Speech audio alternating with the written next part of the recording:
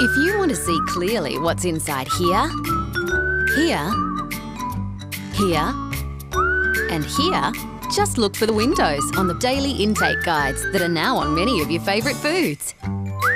They'll show you what's in a serving and how much it contributes to your daily diet, which makes it easy to see what should go inside here, here, and here. To find out more, go to mydailyintake.net.